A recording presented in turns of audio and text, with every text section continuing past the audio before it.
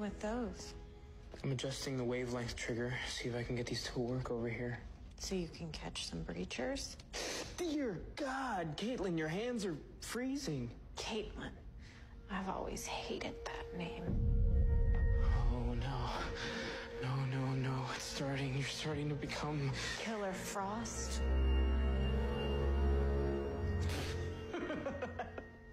That ain't right. That ain't right. That's just rude. Who put you up to this? Barry put you up to this, didn't he? Oh, I should have known. You two were. Cold. Yeah.